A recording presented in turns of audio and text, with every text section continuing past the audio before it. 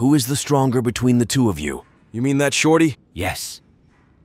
Hmm. Well, if he had a C6 Faruzan, it would be difficult. Would you lose? Nah, I would win.